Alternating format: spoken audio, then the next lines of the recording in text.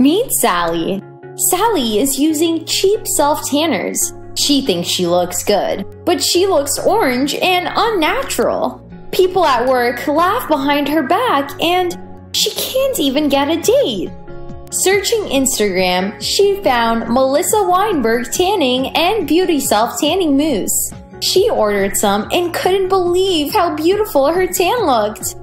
People at work asked if she went away over the weekend because she looked like a bronze goddess. They just couldn't believe that she used a self tanner. Bob from accounting even asked her to happy hour. Sally no longer looks orange and it's changed her life. Visit www.mwmelissaweinberg.com for more details.